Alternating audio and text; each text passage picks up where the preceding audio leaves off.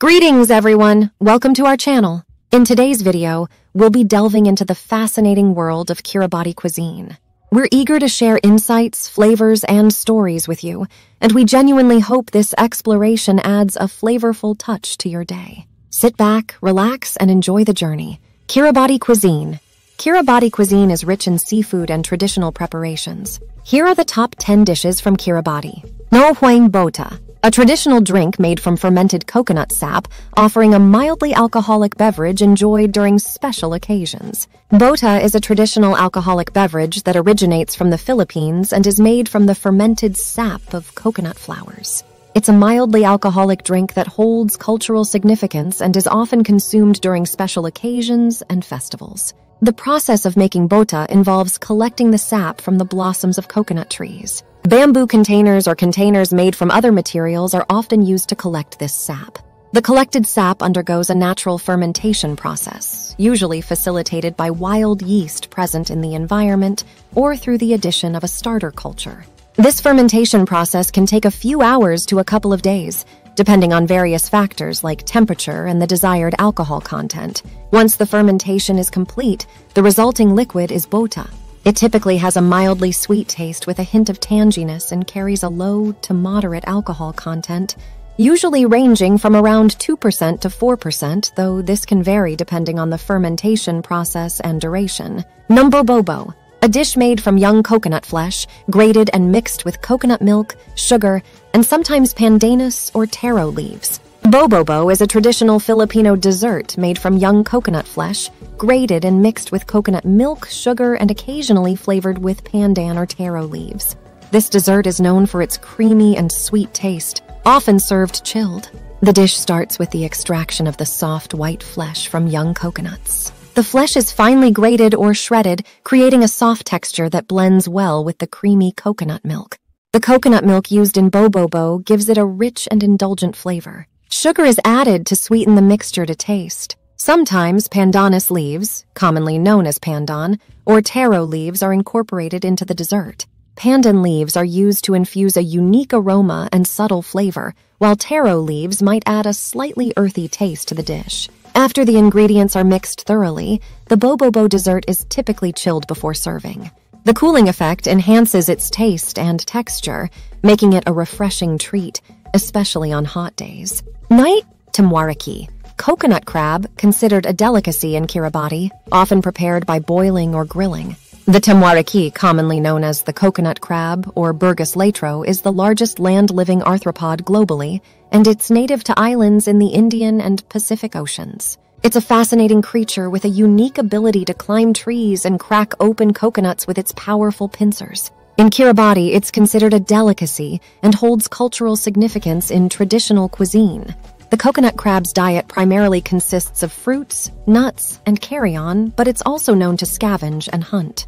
Due to its scavenging habits, it's often attracted to food scraps around human settlements, making it relatively accessible for harvesting. The harvesting and preparation of temwariki involves certain cultural practices and skills passed down through generations.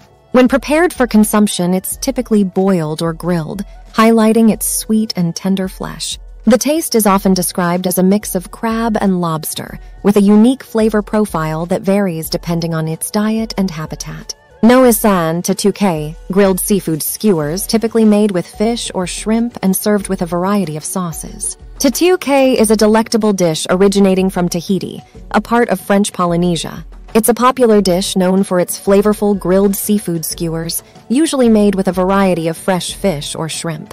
The preparation of tatuke involves marinating the seafood pieces in a blend of local spices and herbs, often including ingredients like garlic, lime or lemon juice, soy sauce, ginger, and sometimes coconut milk for added richness. The marinade helps to infuse the seafood with a tantalizing mix of flavors before it's threaded onto skewers. Once skewered, the seafood is grilled over an open flame or barbecue, imparting a smoky essence and cooking the fish or shrimp to tender perfection. The grilling process enhances the natural flavors of the seafood while adding a delightful charred taste. Nokeste inamwe, baked breadfruit, a staple carbohydrate in Kiribati cuisine, often served alongside seafood or coconut-based dishes. Breadfruit is a starchy tropical fruit commonly found in the Pacific Islands, including Kiribati. In Kiribati cuisine, breadfruit holds a significant place as a staple carbohydrate. To prepare te inamwe, the breadfruit is typically baked or roasted. Here's a general method for baking breadfruit. Selecting the breadfruit. Choose a ripe breadfruit that feels firm and has a slightly soft texture. Avoid fruits with bruises or blemishes. Preparation. Wash the breadfruit thoroughly under running water. Some cooks might choose to peel the breadfruit, while others prefer to leave the skin on. Cutting and seasoning. Cut slits or score the surface of the breadfruit to allow steam to escape while baking. Some variations include stuffing the cuts with garlic, herbs, or other seasonings to infuse flavors. Baking. Place the prepared breadfruit in an oven preheated to around 375 400 DGF, 190 200 DGC. The baking time varies depending on the size of the fruit. It might take around an hour or longer for larger breadfruits. Checking for doneness. To check if it's done, insert a fork or knife into the breadfruit. It should pierce through easily, indicating that it's cooked all the way through. Serving once baked tinamwe is usually served hot. It can be enjoyed as a side dish alongside seafood, coconut-based dishes, or other traditional Kiribati meals. Number 5. Kakabwiro, a type of porridge made from mashed bananas and coconut cream, sometimes mixed with other ingredients like taro or breadfruit. Kakabwiro is a traditional dish from the Pacific Islands, particularly from the nation of Kiribati. It's a type of porridge or pudding made primarily from mashed bananas and coconut cream. The bananas are typically overripe, lending a natural sweetness to the dish. The process of making kakabwiro involves mashing ripe bananas into a smooth consistency and then mixing them with coconut cream. Sometimes additional ingredients such as taro, breadfruit, or other local fruits may be added to enhance flavor or texture. The mixture is often cooked slowly over low heat to allow the flavors to meld together and to achieve a thick, creamy consistency. The result is a comforting and flavorful porridge that can be served warm or at room temperature. Kakabwiro is not only a delicious dish, but also holds cultural significance in Kiribati. It's a dish often shared during gatherings, celebrations, or as a way of showcasing traditional cuisine. Number 4, Ibanra, a dish made with pandanus fruit mixed with coconut cream and sugar, creating a sweet dessert. Ibanra is a traditional dessert originating from the islands of Kiribati in the Pacific Ocean. It's a delightful sweet dish made primarily from two main ingredients pandanus fruit and coconut cream. Pandanus fruit, also known as kenekini or screw pine, is a tropical fruit with a unique, fragrant aroma. It's often used in Pacific Island cuisine for its sweet flavor. The fruit is typically grated or processed to extract its essence, which contributes both flavor and color to the dessert. To prepare ibanra, the pandanus fruit is processed or grated, and its extract is mixed with coconut cream. The mixture is then sweetened with sugar to balance the flavors and achieve the desired level of sweetness. The result is a creamy, fragrant dessert with a tropical taste that's both refreshing and satisfying. Nuntari takawakawa, grilled or baked parrotfish, a popular and delicious fish in Kiribati, often served with coconut-based sauces. Takawakawa, or parrotfish, is indeed a popular and flavorful fish in Kiribati cuisine. It's commonly prepared in various ways, including grilling or baking, and is often served with coconut based sauces that complement its taste beautifully. Grilled or baked parrotfish. Ingredients Parrotfish, fresh and cleaned, ideally with scales removed. Coconut based sauce, made from coconut milk, garlic, onion, chili, optional for spice, and sometimes a hint of lime or lemon for acidity. Seasonings, salt, pepper, and possibly local spices for additional flavor. Note to a seafood dish made with coconut cream, often featuring fish or shellfish like clams or crab. Tabukua is a traditional Pacific Islander seafood dish that highlights the flavors of the region. It typically consists of fresh seafood cooked in coconut cream, along with a mix of local herbs and spices. The dish can vary in its ingredients and preparation methods based on the specific island or region where it is made.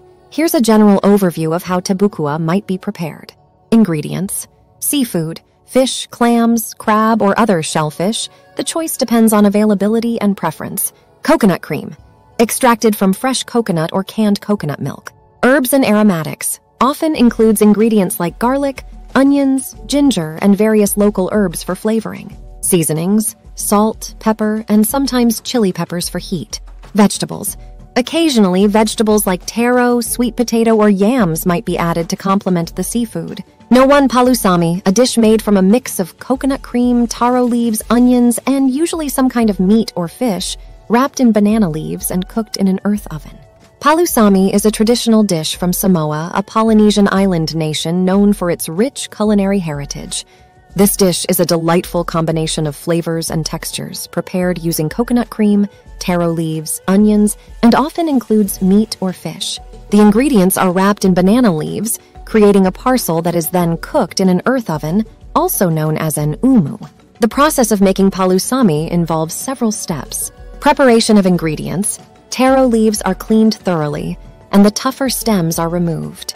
The leaves are then typically blanched or wilted to soften them before use. Onions are sliced or chopped, and the meat or fish is usually cut into bite sized pieces.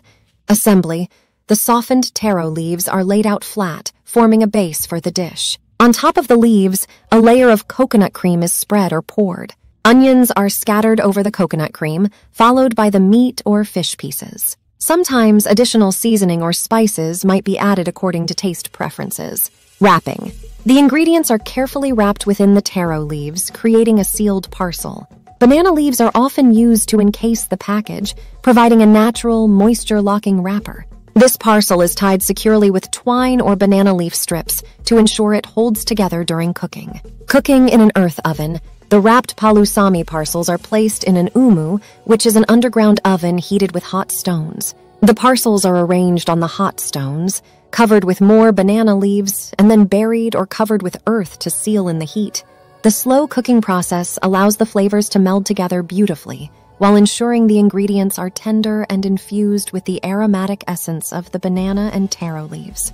These dishes showcase the flavors and culinary traditions of Kiribati, often highlighting the abundant use of coconut, seafood, and local fruits. If you found value, entertainment, or information in our video content, we kindly encourage you to consider subscribing to our channel, as your support not only motivates us to create more engaging content, but also ensures you stay updated with our latest releases and contribute to the growth of our community.